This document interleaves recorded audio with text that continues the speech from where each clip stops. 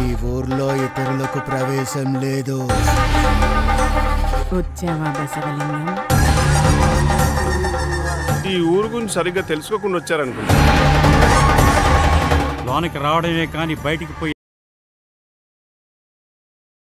దారి లేదు.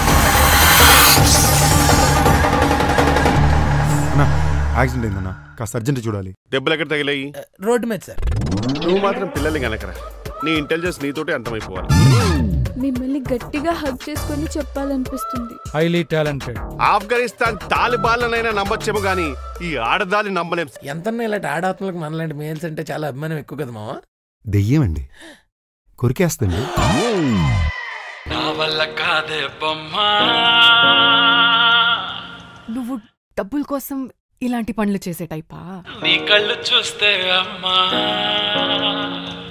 ఇక్కడ మనకి ఇదంతా అవసరమా చెప్పు? నా వల్ల కాదే బొమ్మా నీ కళ్ళు చూస్తే అమ్మా కిక్కెక్కుతోంది. శంకర్ కూడా అమ్మాయిని అప్ప చెప్పాడుగా ఆ అమ్మాయి నేను కాపాడుతుంది డిసైడ్ అయ్యా. ఇక్కడ ఉండడం చాలా డేంజర్ బస్వా వెళ్ళిపోదాం పద.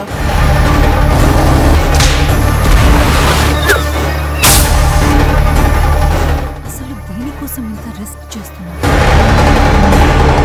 ఆ పిల్ల కోసమేనా? ఇక నువ్వు మారవా? నా దారికి అడ్డు తప్పుకో పెద్దమ్మా. భైరవ కోనకి ఎవ్వరు ఊరికే రారు బసవలింగం.